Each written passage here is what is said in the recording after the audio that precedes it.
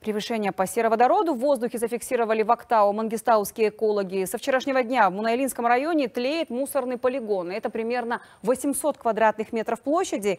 Ветер разносит запах дыма и гари по окрестностям. Государственное коммунальное предприятие, на чьем балансе он находится, привлекли к ответственности за несоблюдение требований по охране атмосферного воздуха и пожарной безопасности.